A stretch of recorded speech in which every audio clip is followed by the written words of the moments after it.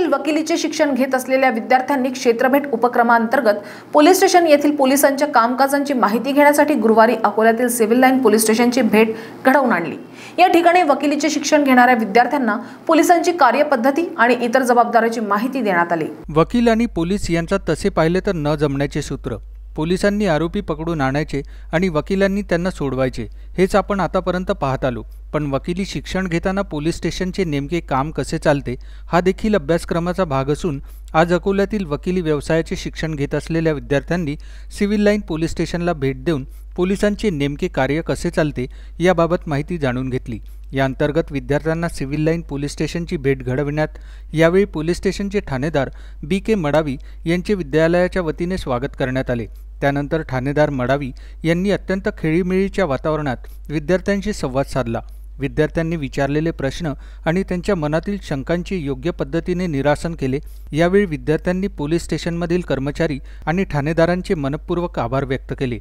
इनको लॉ मालूम है भले एक्चुअली इन प्रैक्टिकल अपने देखा जाए तो बहुत सारे कॉमन लोगों को लॉ मालूम नहीं रहता.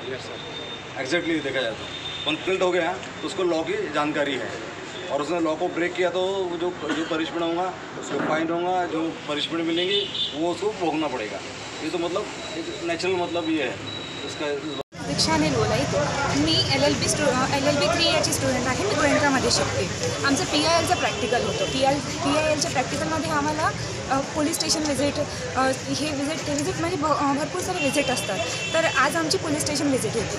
आज आम्ही पोलीस स्टेशन व्हिजिटमध्ये आम्हाला काय कसं असतं पोलीस स्टेशन आय डी काय असतं हे सर्व इन्फॉर्मेशन आम्हाला आज पोलीस देणार आहे. तर ही प्रक्रिया सध्या सुरू आहे. तर ते आम्हाला सांगतात की काय कसं असतं रिपोर्ट कसं देतात किंवा कोणी पहिल्यांदा आलं तर काय उदाहरण काय म्हणजे त्यांना काय सांगायचं?